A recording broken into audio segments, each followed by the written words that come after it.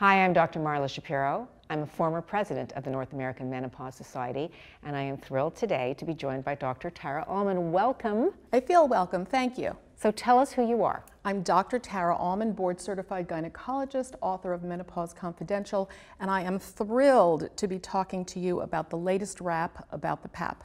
So lots of confusion because guidelines have changed all over North America. And that's left a lot of people sort of not quite sure why they've changed and how they follow these guidelines. So you give us that wrap. Let's clear it up. The U.S. Preventive Services Task Force has recently come out with the latest guidelines on cervical testing for cervical cancer. So let's break it down by age. I do want your viewers to know that this group is an independent volunteer group of national experts. Right on both prevention and evidence-based medicine. And I think that as healthcare providers, that is where we are turning. So tell our healthcare providers the bottom line. Okay, so we're going to do cervical cancer screening on women starting at the age of 21 to the age of 65. This is for average risk women for cervical cancer. If you are less than the age of 21, you should not have cervical cancer screening, and this has been a guideline for many years, so that hasn't changed. Something has changed. Let's break it down for the 21 to 29 year old group. They should have just PAP testing, not HPV testing. That shows the greatest benefit and the, less, the least harm for cervical cancer screening. Now, the 30 to 65 year old group should have either PAP testing alone every three years, PAP testing with HPV every five years, or the latest information is they can have HPV testing alone every five years. These are the three strategies that we have for the 30 to 65 year old group of average risk women. And now let's talk about the over 65 crowd. Right, so let's talk about that because in some parts of North America, for example in Canada, we advise screening all the way up to age 70.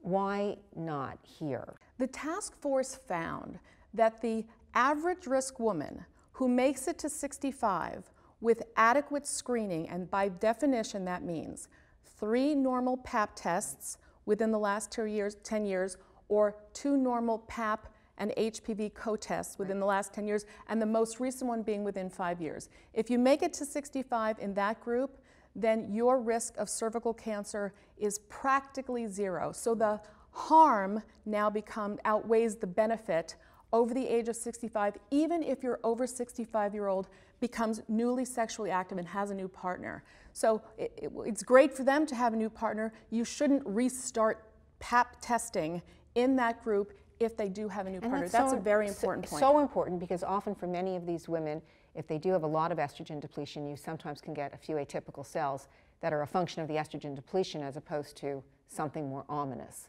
Yeah, this, th these guidelines are, are based in real evidence and we really all should adhere to the guidelines, but I would like to say that clinical judgment, of course, should be involved. So if you have a patient that is in, in a different category of risk, if they are immunocompromised, if they have been DES exposed in utero, if they've had a precancerous lesion or cervical cancer, they don't fall into these guidelines. And in fact, here's a very important point.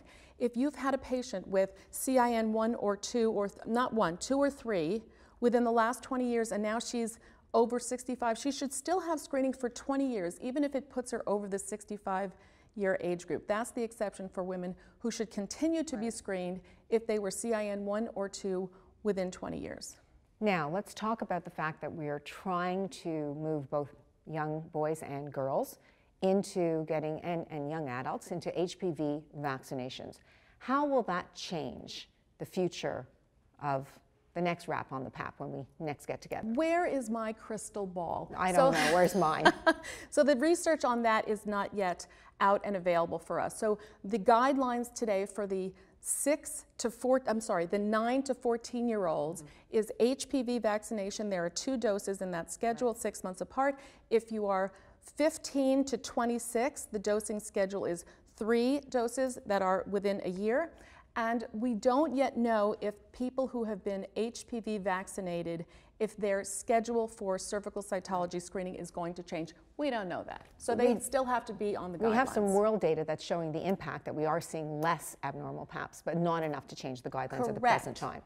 So everyone, now you know the latest rap about the PAP. There you go. As healthcare providers, we are up to rap speed. Thank Beautiful. you so much. My pleasure.